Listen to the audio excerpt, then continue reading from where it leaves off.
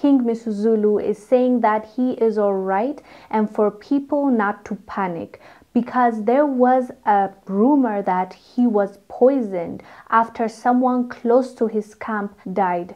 King Misuzulu said, quote, I am not poisoned, I am well. The king's spokesperson also said that this was a baseless claim and was orchestrated to spread the narrative that the king was sick.